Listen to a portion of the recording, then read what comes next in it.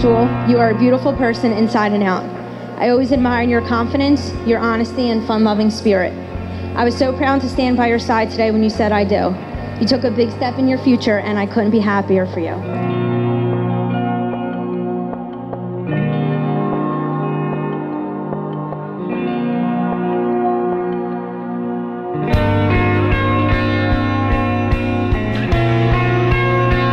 You absolutely make Jason a happier and a better man, and I'm so happy to be part of this big day with you guys.